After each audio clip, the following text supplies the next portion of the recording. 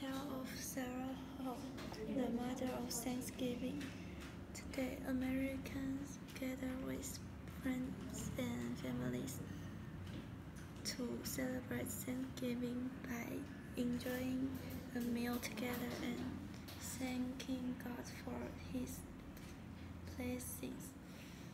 Thanksgiving falls on the fourth Thursday of November each year, but it hasn't always been an annual event. In 1621, settlers and Native Americans celebrate the, what is considered one of the first Thanksgiving feasts. Mm. And in the following years, individual regions celebrate the feast of uh, thankfulness Mm. on different dates because there, there was no Of- official holiday. official. official holidays. In 1827, influential Sure. Influential. influential writer and editor Sarah Hall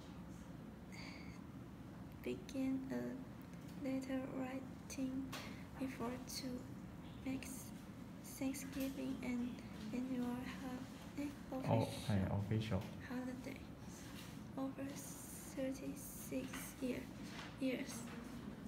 She sent letter to numerous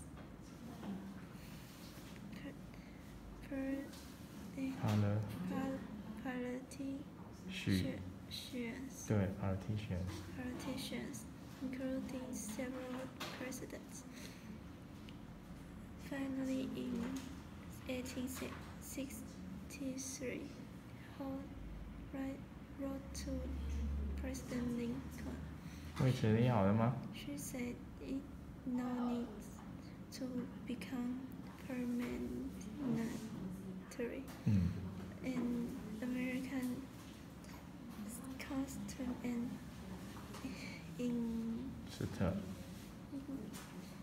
institution. 对。At that at the time, America was involved in civil war. Mm. Yes, how believe uh, both South and North can unite around about a day of thanks. Think President Lincoln agreed and established Thanksgiving as an uh, official Mm. annual holiday November uh, each year because Sarah Hall persists in her goal. Today she is known as the mother of Thanksgiving. 好。